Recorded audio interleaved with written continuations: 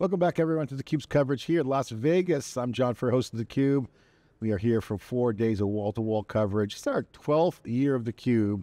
We've seen the journey. It's like a documentary that's playing out right in front of us. We're documenting the whole thing. theCUBE's the generative process for all the videos. I'm John Furrier with my good friend Jerry Chen, who was here with theCUBE on the inaugural broadcast uh, 12 years ago. Just left VMware, just newly minted venture capitalist at Greylock at that time.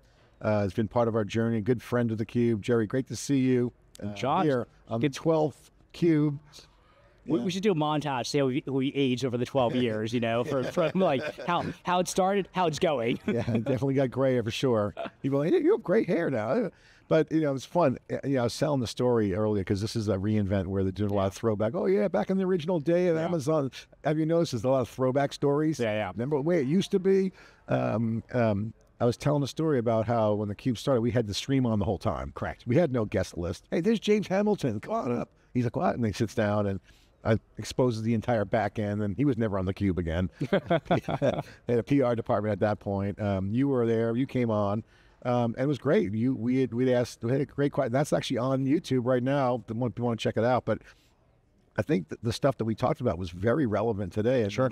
Your thesis when you started coming out of VMware at Greylock was you, you made one comment. I'll, i want to get your reaction to. I'm looking for the next Amazon. When I asked, "What's your investor?" Because uh, you were in a curious way, like I'm looking for the next big thing. Yeah. Um, Amazon still is that next big thing, but we were talking about how cloud scale. You were on the uh, early days of seeing that 20 mile stare of what Amazon could turn into. Yeah. And, you know, and you've been on many other times. Looking back now, first of all, reaction to that, and then looking back now, what's been the key moments for you for AWS and this industry as cloud went mainstream? I mean, I would say the past 12, 13 years, been living this cloud mobile transition right? You know, the, the, two platforms that came out in like 2008, 2007, the iPhone came out and the AWS launched in like 08 or something like that, I guess 13 years ago. And so what we got right was we are on the right side of history, that this move towards cloud mobile and just rewriting your applications. You say phase one was just move the stuff you had in your data center to the cloud, right? Phase two is okay, let's rewrite things for in a cloud native way. And Amazon's really pioneered what cloud native means. Now we're seeing what AI native means, right? And so I think you've seen all the announcements this week, and clearly we talked to a bunch of startups and yeah. a bunch of developers, and a bunch of customers.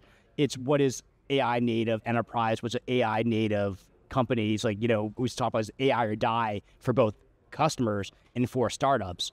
And so I think we're seeing Amazon try to reinvent themselves to say we're the AI native cloud. And make it easier for developers, kind of the core thing. Matt Garman put on his first slide was developers. Yeah. I love developers. And he said, they're near and dear to my heart. And they said, I got a billion dollars of credits. And I'm like, I got to make an email to Garman and get those credits. But um, that's a that's a game statement right there. They're saying take, take a page out of Microsoft's book, right? Yeah. Developers. developers. So okay, so now if, if you're a developer, and I was telling the story last night at a dinner, uh, I was a reporter whose first time at uh, reInvent. I go, you got to remember in 2008 when the financial crisis hit, yeah, um, it was kind of Armageddon. You had the, the Web 2.0 post bubble, and then you saw YouTube come out. They got bought by Google, and that whole Web 2.0 phase. So, but a lot of companies were kind of hanging around. People were unemployed. They couldn't get gigs, and so people were trying to figure out how to sell cereal in their apartment. Okay, two couple developers that became Airbnb. Yeah. Okay, so you had Dropbox. So all this kind of web um, SaaS players because it was serendipitous. It, and they were kind of like experimenting. And so there's a lot of experimentation in the narrative now, experiment. And so that brings up the serendipity. So this is the entrepreneurial question for you, Jerry, is that we're in a market where it's like kind of transitioning, big wave, old wave, transition to a new wave, AI native. There's a lot of serendipity in meeting people, experimenting with stuff, and then just huge upside. So the question is, these entrepreneurs that are under 30, say uh, you know, 25 years old, right out of college, what are they building on? And so what do you see? Because when they were yeah. 15, they were using Google Docs. Sure. They weren't like, cloud was my dad's cloud. so, not, not your dad's Oldsmobile? Oh, my, not your dad's cloud? My, my dad used a console, and a console. It doesn't have autocorrect. It can't yeah. make comments. Yeah. Like so, code writing. So I bring that up. It's a little bit over the top, but my, to make the point, generationally, sure. What do you see um, in the next generation? I mean, I think the way you're going to teach CS and code changes with, with AI, right? Both the tools from GitHub Copilot to all these AI engineering tools like Cursor, um, Cognition, etc. They're all great. We're in a company called StackBlitz launched this thing called Bolt.new, amazing product, right? Vercel V0. So Bolt.new is an incredible way to like prototype apps quickly. And I think what you're seeing is two things. One, the tools you have to make yourself a better, fast developer are there. So you have everyone has some new superpowers. Again, making it. We thought cloud gave you superpowers, developer. Tools like Copilot or you know Cursor or Bolt gives you superpowers. Number two, uh, how you think about apps change, right? So you have this thing called the LLM, the large language models, video models, right? You know, you have kind of this ephemeral apps. Ephemeral apps. So you have you have this before you had the internet, which is an incredible resource. What that gave you, they gave you billions of users, access to information, easy communication. Now you have all that plus this kind of brain called these large language models that do reasoning to help you even more. So nothing ever gets replaced, right? We just kind of build yeah. these layers. Again, the cloud layer from infrastructure, networking, storage. Now we have everything we built beforehand, these new AI tools to make you faster. And then you have storage, elasticity, right? What Amazon pioneered, the internet, right? Mobile phones. But now you have reasoning models, access to like large language models to understand, you know, communication, languages. So that puts you in a whole different creative space. It's just when mobile came out, they built like said Airbnb, Uber, right? You had maps and GPS and the power of your your your hand. Now you have all that plus these large models. So I, I say, um, what does AI native mean for these like 25 year old founders and developers or large enterprises? Is take everything you have, but imagine you have this super powerful AI resource to plug into, and that just creates a new creative space. Yeah. Uh, the other thing, uh, great, great insight. The other question I want to ask you is that if you look at like, because we used to joke about you, Pete Soncini, and, and Steve Herrod as the VMware mafia. yeah. Okay. And PayPal has a mafia, and it's, a, it's a term to denote people who have worked at big, great companies, have gone on to do other things, usually build companies or be an investor. If you look at the, some of the startups I've been interviewing um, that are under the age of 30 or around that age group, they all came from these big companies like Facebook Meta, yeah, Google, Amazon, Twitter, Uber. Yeah. So the people who have built by hand yeah. large scale systems. Yeah. Okay. So you're seeing it, and you know what they're working on? Enterprise solutions. Yeah. So you have a, another wave of personas working on like hard enterprise stuff. Like it used to be when we were growing up, it was like, oh yeah, consumer, enterprise lags, not enterprise, not lagging. En- enterprise has always been fun in my book, you know. Well, no, no, I'm saying from a trend standpoint. Sure. Yeah, of course, we love the enterprise. We we dig into it every day, but the, they're actually starting companies with the enterprise in mind because they walk into someone like a J.P. Morgan Chase or a Gold yeah. and say, "Oh, you know, you got identity problems? Well, we built a system over at Uber to do that." Like, yeah. and so they're seeing problems. I've never seen that before. I've never seen like the pure entrepreneurial, but it comes from their DNA. That comes from like it's the pedigree of the entrepreneurs. It's that where they've come from. Yeah. What's your well, view on that? Do you see the same thing or for sure? I really say especially from systems and infrastructure, folks on Uber, before that Meta, they've seen the future, right? Like or go they, they've seen problems at scale. They also seen this problem before, like when they have access to infinite resources, compute, storage, networking, and you touch billions of users, they can see where the rest of the world is. So the old line, the future's here, is not evenly distributed. Yeah. So we like to say those folks come out of Uber or whatever, saw the future, and they come out of these, they create companies like Chronosphere or Temporal from yep. Uber's data team, for example. And I think you're seeing these folks come out and say, hey, I can solve these enterprise problems, the security, scale, observability, now with the things, lessons I learned inside these big companies.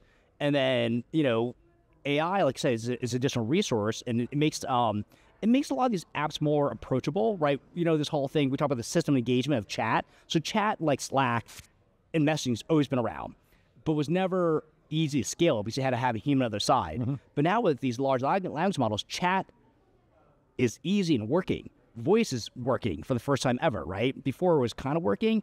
And so I would say the usability of making enterprise apps because you have these large language models has changed. So the system engagement is still chat. System of action, these agents now mm-hmm. are actually working. And so it's kind of cool because before a lot of young developers were like, I don't want to touch enterprise. You know, have you seen, you know, ServiceNow or Oracle's like UI or, or uh, you know, Concurs? They don't want to touch that. But like, holy crap, I can now make all that stuff sexy again because A, design aesthetic, B, mobile, and C, you know, I can use things like chat or voice to make these things approachable, right? I can make software human-like with with AI. Yeah, and to make it better. So let's talk about the uh, your investment thesis. What are you seeing on the investment side? Obviously, rounds are um, with AI is pretty hyped up right now. What's the market like from a VC perspective as you look at trying to get the early stage action? Yeah, I mean, look, we're always trying to be the first money in, like seed, Series A. We want to back the founders right when they leave the companies or come out of school and they have this kind of crazy idea. Um, like all things, that valuations, every VC is going to play about complain about valuations all the time, right? um, so I won't won't touch that with a ten foot pole because it's never going to be the right price until it is, right? until it's a hundred billion dollar company, then any price is the right price. Um, but I think what you see is just the enthusiasm of this new platform shift, right? I think, like I said, when 0405 was kind of Web 2.0, then 08, 09, 010 kind of cloud mobile. We saw a whole bunch of folks mm-hmm. invest in native mobile experience like Instagram, native mobile pho- photo sharing, or native mobile databases in the cloud. Now we're seeing these AI native applications. And so I think you're seeing that kind of enthusiasm we did around that platform shift around cloud mobile now Yeah. apply to AI. It's not really a platform shift yet because the way you consume software is still the same. And like we're playing around with wearables and you know glasses and goggles, but the way you consume software is still the same. But you see that same enthusiasm of like, hey, I can rewrite everything for the iPhone. I can rewrite write everything for the cloud. I can rewrite everything for using AI now, and it's um, it's pretty interesting. It's it's it's, it's early, but it'll be a race. So I'll get your reaction to that. First of all, good, good, good, good insight there. So there's, I see three areas of AI: AI producers. I, pro- I make AI, AI consumers. I Okay. consume the AI, and data suppliers. Because data is, Yeah, I mean, everyone's. I know. It's a tight resource. It's the oil, it's the resource. all the whatever. foundation models use the same data. I mean, they're all kind of pedal as fast as they can, but differentiation will come from data. So, do you agree with that? Is there an area I'm missing in terms of categories of who you are? I mean, obviously, you look at the players like, are you either a provider, Okay. consumer, A provider is what in your mind? Uh, someone who's building AI technology Okay. to people? And I like, I would be a consumer. I use OpenAI or whatever. Um, I use some RAG. That's a that's an application I'm consuming. Yeah. That's not really AI, but in terms of my mind, but um, data suppliers on, hey, I got unique data that could add to your corpus. Yeah, yeah. Um, so like OpenAI would be a provider. I think yeah, I think you definitely everyone's going to be a consumer, right? It'll either be visible or invisible, but everyone's going to be a consumer, just like everyone's a consumer of the internet in some form or faction. Yeah. So I think it's going to be there, but it's going to be ubiquitous.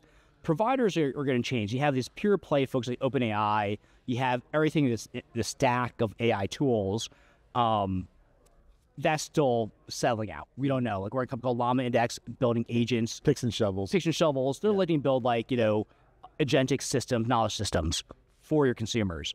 And then for sure, data is ubiquitous, right? I, again, it's both for pre-training, it's for post-training, it's for um, evaluations. What I mean by that is when you have your AI doctor, you're going to have someone both get the, the training for the for the model, but also make sure the doctors say the model's working yes or no, yay or nay, right? Evals, right? Evaluating the, the output of the models. And so I would say we're, you know, it's beyond our PhD knowledge for you and I, since we have zero PhDs between the two of us.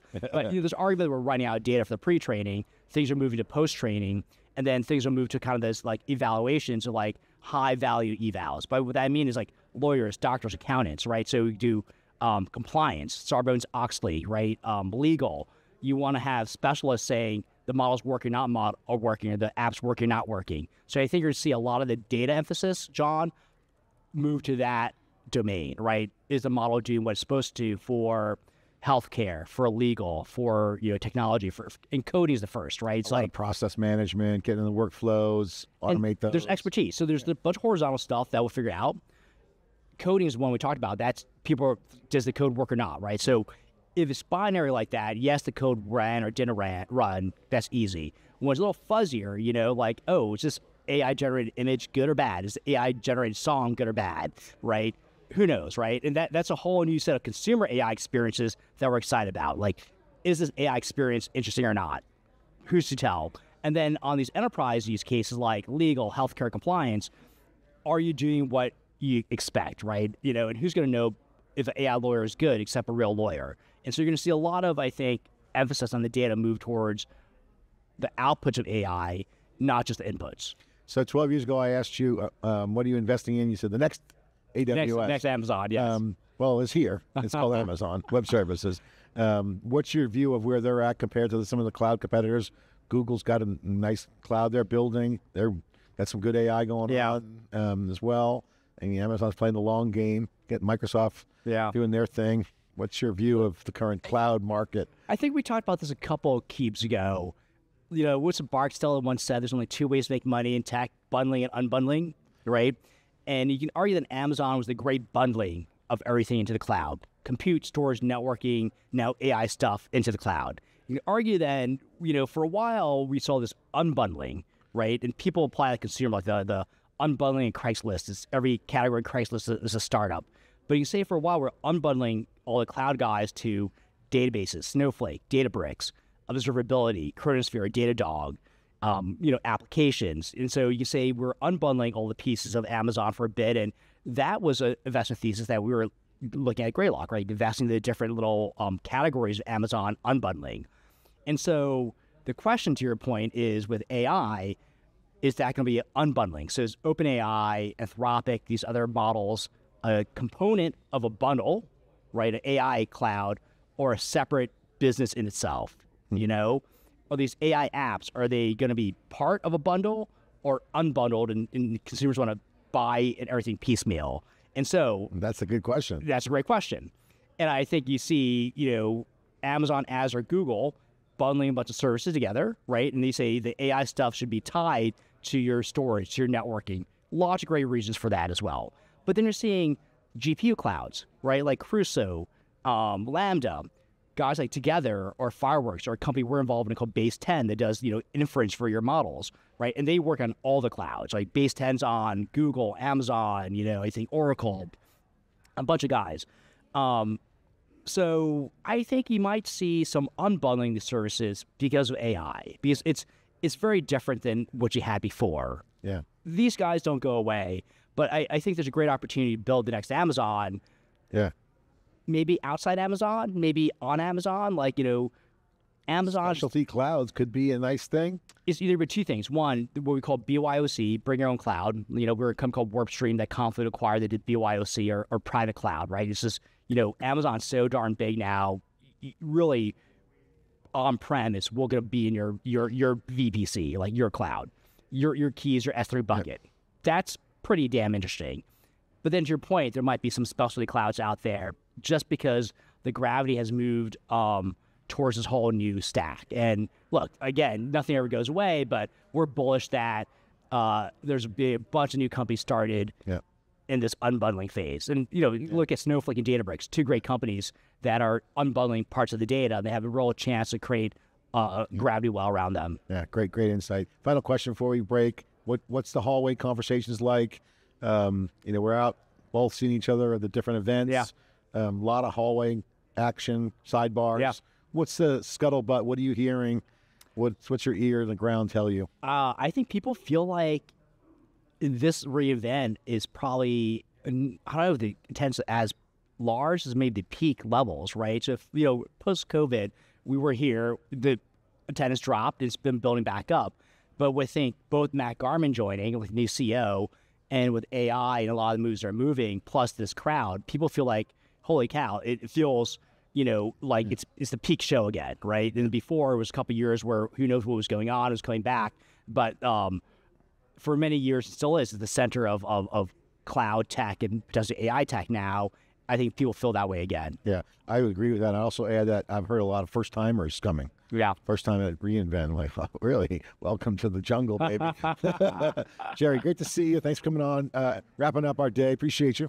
I appreciate you, John. All right. It's always a pleasure to be here. And hey, congratulations to you, the Cube, the whole business you put together. Yeah. It's pretty freaking amazing, man. Thank you very much. Thank you. Jerry Chen, part of our journey from day one, 12 years ago here at reInvent, 15 years with the Cube, And again, we continue, we're just doing our part, just documenting history, sharing the data with you. Soon we'll have a generative agent technology to cut it all up for you. Next year, your agent and my agent. We'll do, we'll do an interview with our personal agents. I'll have my agent call your agent, my sub agent, multi agent collaboration, big part of the story. Thanks for watching. See you next time.